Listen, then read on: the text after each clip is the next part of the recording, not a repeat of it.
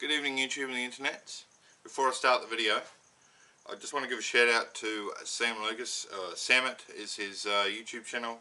Uh, he's the owner of Otaku Garage and he's hooked me up with these awesome parts. So we've got a spool conrods and we have our pistons.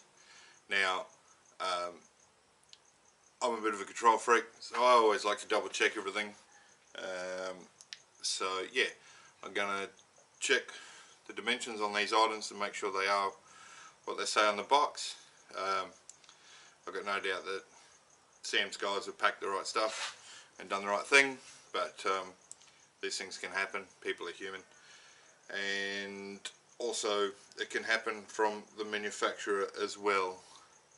So if you ever do get parts that aren't right, don't always assume it's the guy that sold it to you he could have got them wrong from, from the fabricator or manufacturer as well. So thanks Sam for my parts and uh, let's get started.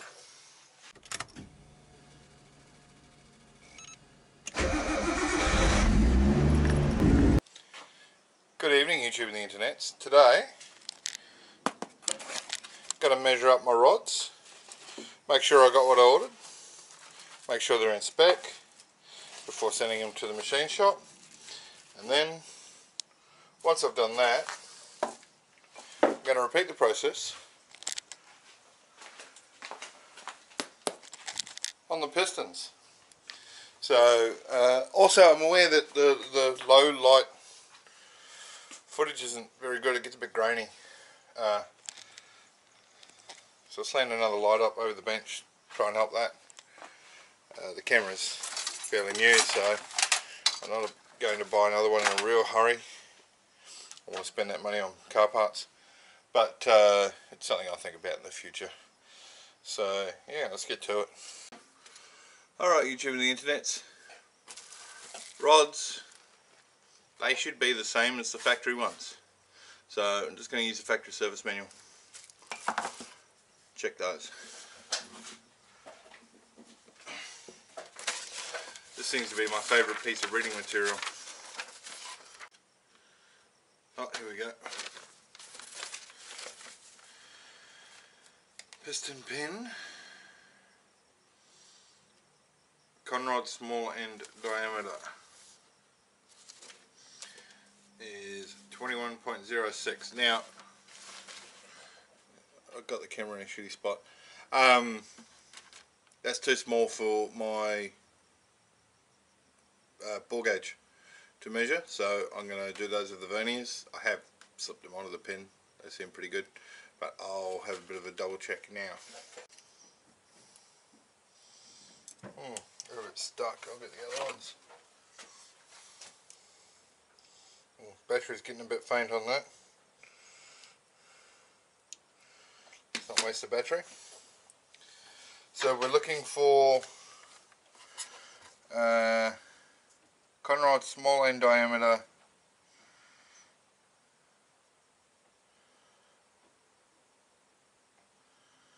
Piston grade 0 piston grade 1 okay so there's a 1 and a, a 0 and a 1 grade. Uh, 21.006 basically to 21 with all my engine everywhere I've got I'm out of space. I nearly did this upstairs in the kitchen rod.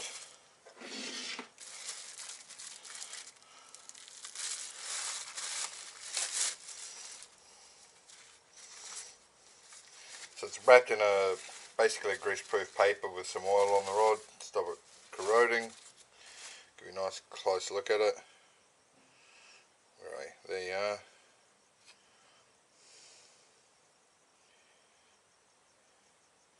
Shiny. So the diameter we're looking at is this one. And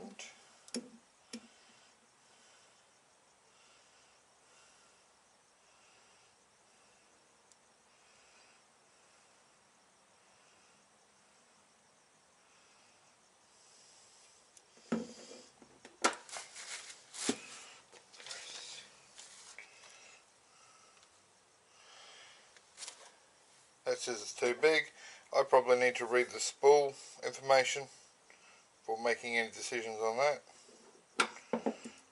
Let's measure a pin.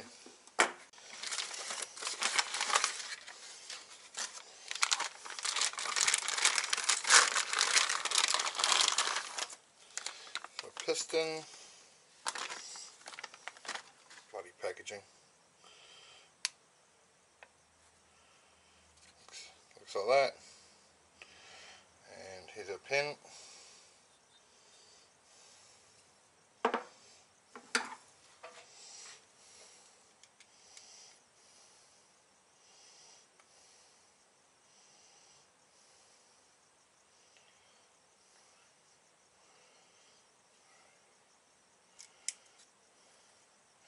So it's saying that this is slightly bigger as well. So perhaps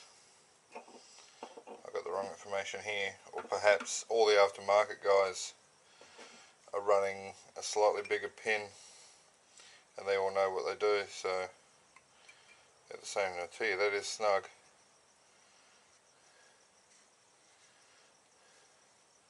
Very snug. So I'll go away and read about that and make sure that that's okay. No point measuring that anymore. Put our pin back in here. So the pin is oiled as well already. Not a lot, but there's some on it. Put our piston back. And let's go to the big end. Let's take a preliminary measurement with this.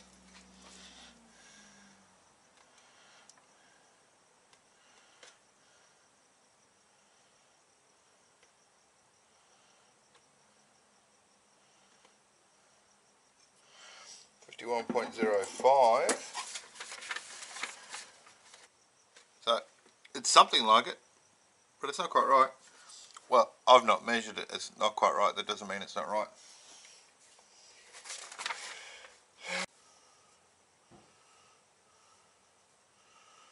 Hmm.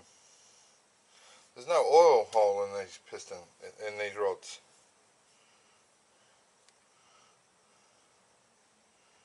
Anywhere. There's a hole inside the top, but nowhere else. It's another thing I have to look at, see if I can figure out if it's supposed to be there.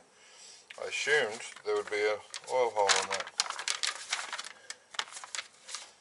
So, let me get the... Okay. Lots of light reading to do. Um, this is the technical data on the pistons. So, I'll give that a read. And I will get back to you. Oh, should have zeroed that video. Off. So, quickly, um, diameter of the piston 86.5 what I ordered now they're a 9.5 to 1 compression ratio and I could probably do some fancy maths to figure out if that's exactly right. However what I can do is compare it to the factory one. Here's our factory piston. Here's our aftermarket one. And as you can see this crown is much higher. I think that's called a crown. Um, so I'm inclined to believe that that is a 9.5 to 1 compression ratio. Could be 9. I'll see if I can find some dimensions on Ross Racing's website to confirm the crown height and stuff like that. But it's certainly not uh, the standard 8.5. Is it 8.5? I think it's 8.5 to 1. So, yeah, piston's the right diameter, and it appears to be a high compression piston. Now, another thing I can show you is the old rods, factory rods, compared to the new rods. So you can see how much broader they are that way, and then we can put them on edge and you can see they're even slightly thicker. This is the oil squirter I'm talking about. The oil hole. Probably can't see it. It's in there. Now what that does is that squirts oil up on the underside of the piston um, to help cool it down and, and to lubricate it on the underside of the combustion chamber effectively. The other side has the oil squirter in the block squirting up at it. Uh, no, they appear to be on the same side because there's the cutout for the squirter. Maybe I should double check that. But you can see the bigger rods. Now I'm going to have a look, like I said, a bit of a closer look at what Spool say about these rods. They're the same length. Um, and I'll just yeah do some quick double checking measurements.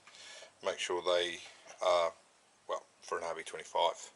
That's the only thing I can check, that they match the existing ones. Uh, as far as they're supposed to and where they're different, that they're supposed to be different. Apart from that, there's not much else I can do. Uh, so I'll do that now. So instead of pissing about with these,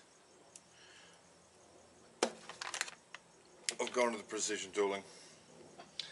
So I haven't double checked whether or not these are supposed to be different yet, but let's have a quick look. This is telling me factory rod pin diameter is 20.993 millimeters so careful I nearly dropped this before.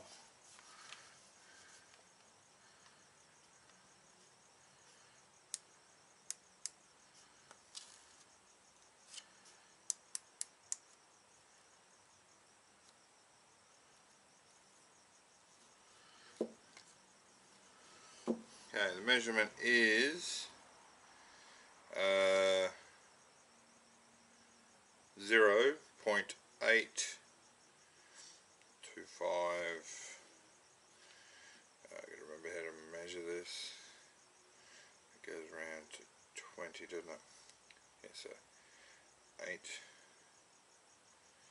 2 5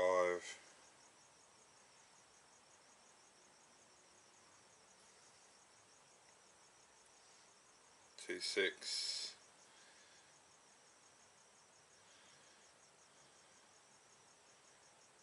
Nine eight two six nine no that's I'm a digit short there. Let me write it down. Always makes it easier. Zero inches. Point eight. Each of those is 25 That's 25 markings around there. To 6, because that's one additional marking. 9. Oh no, that's the correct amount of digits. Uh, now,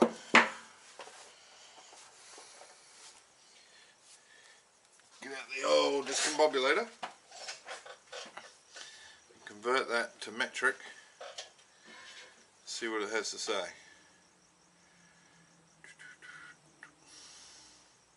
I'm probably overthinking it. 8269 times 25.4 is 21.0032.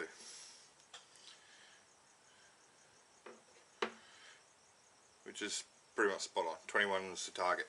So the pin is correct on that one. Now I've got no reason to believe that they're not all correct. So all I'm doing is confirming that I got what I ordered.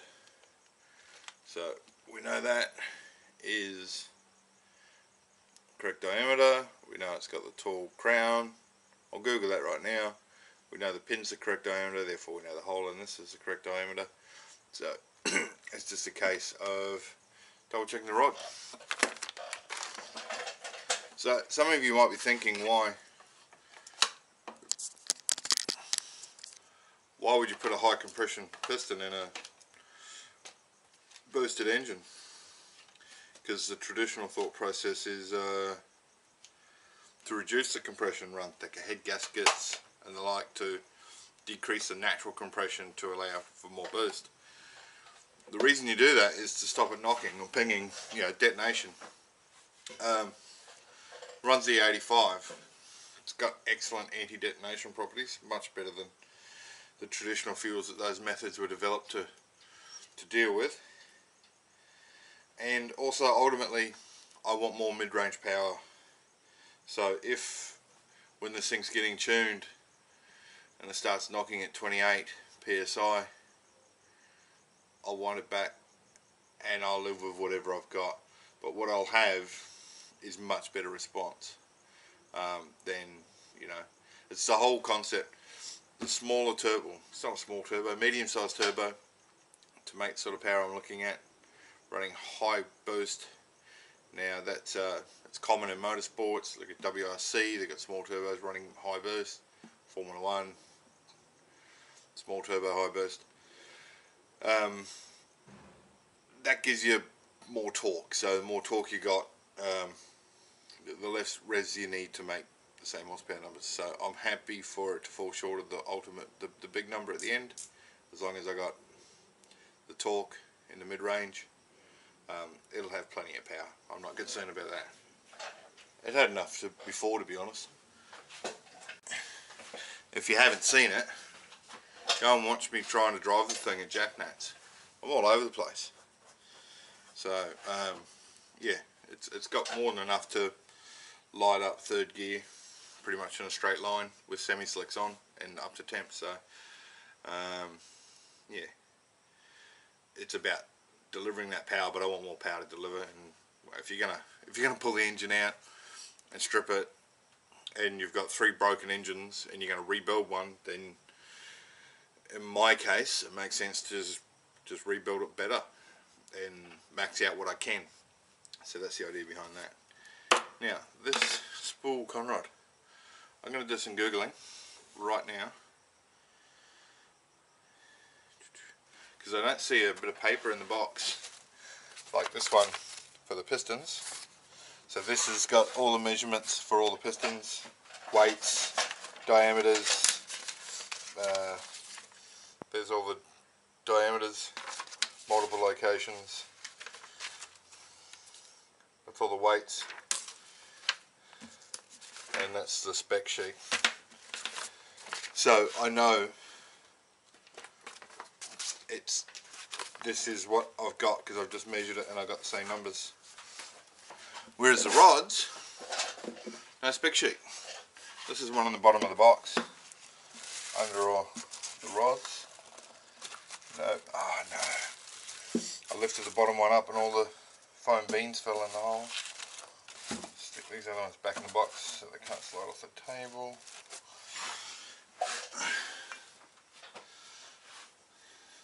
So I'm imagining spool rods have a spec sheet on the website I can look at. And as far as and as far as the measurement on the um, that pin diameter seems pretty snug. And those vernier calipers have never been overly accurate. So uh, I'll have to trust the machine shop to measure that. My, my ball gauge won't get in there and similar with the big end measurement I just took. But let me just uh, double check what they say about that oil hole or the lack thereof on their spec sheet.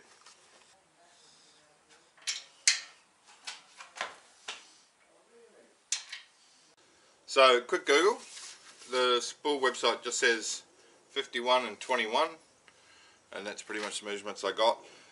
To give you an idea the um, the clearance for the pin the top is uh, 5 microns so zero gap effectively which is pretty much what I measured um, within the realms of how accurate those verniers can be and I'll get the machine shop to just double check those measurements. If the clearances are a little bit big or a little bit small, that'll dictate uh, oil selection and run-in and warm-up procedures.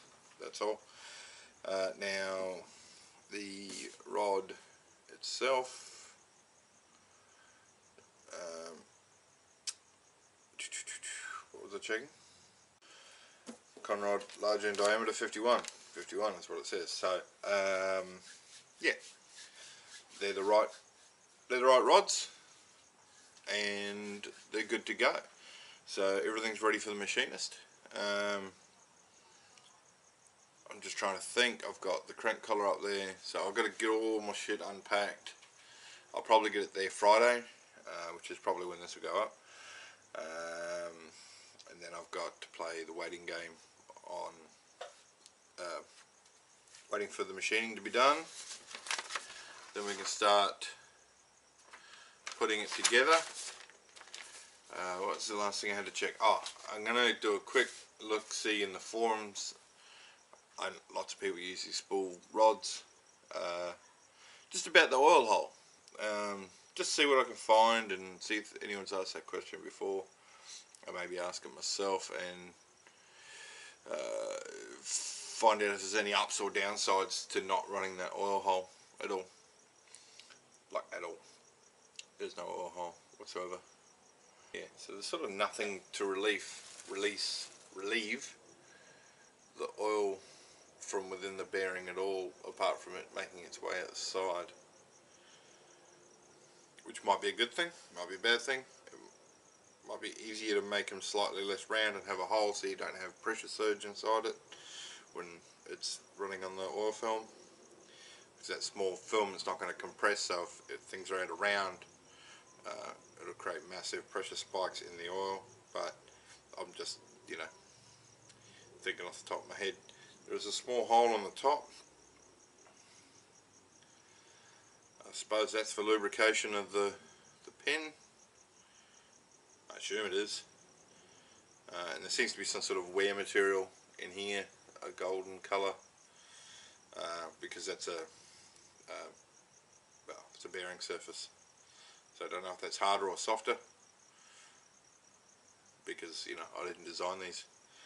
But, it is uh, it's what it says on the box. So I'm happy. That's all I'm doing tonight. Um, not very exciting again. And I will uh, I'll get back to you once the machining's done. A couple of weeks time. I do have some other things I need to do which I can probably film. Uh, there's plenty of stuff to do on the car. It's just been a case of prioritising the engine. Uh, any mm-hmm. money I, excuse me, any money I spent on other stuff would have delayed getting the engine done. So um, I've held off on all the other work on the car purely because it's less, it's got a lower priority. I, if I, I can do nothing else on that car whatsoever, put an engine in it and take it racing, and it'll be fast. Uh, the stuff I want to do is going to have minor improvements to the to the handling characteristics of the car. A little bit of aero work, diff. Um, got a KAAZ two-way there, and some general tidying up as well. Some bits and pieces that can come out. But all of that was, you know, it can wait. So,